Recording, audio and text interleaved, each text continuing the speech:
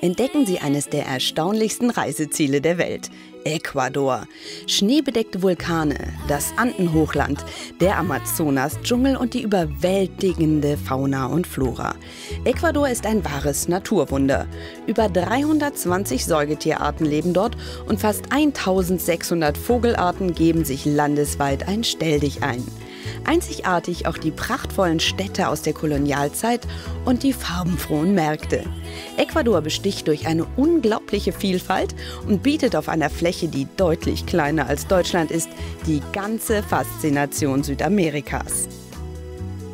In der Hauptstadt Quito, die 2800 Meter über dem Pazifik liegt, stoßen Sie auf die größte Ansammlung bedeutender Kunstschätze Südamerikas. Bereits 1978 hat die UNESCO das historische Zentrum als erstes Weltkulturerbe überhaupt unter Schutz gestellt.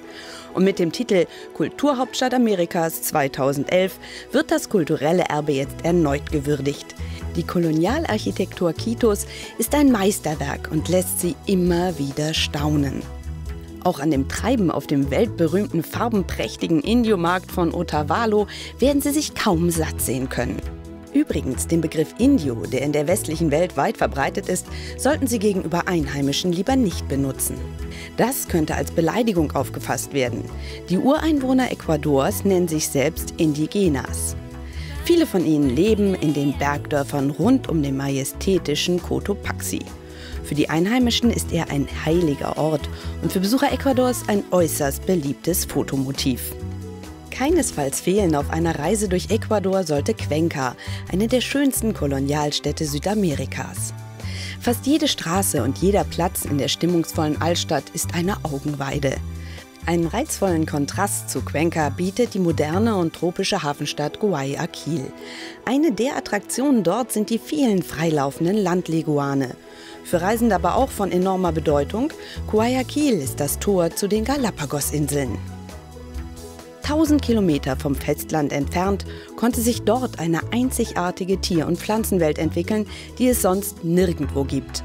Und es ist fantastisch. Die Tiere, die hier schon seit Jahrhunderten völlig ungestört leben, sind überhaupt nicht scheu. Die Wunderwelt von Galapagos mit eigenen Augen zu sehen, das sind unvergessliche Momente, für die der passende Superlativ erst noch erfunden werden muss. Denn nur dort können Sie die exotische Tierwelt wirklich ganz hautnah und authentisch genießen. Dazu sogar noch jede Menge Sonne an einmalig schönen Stränden tanken.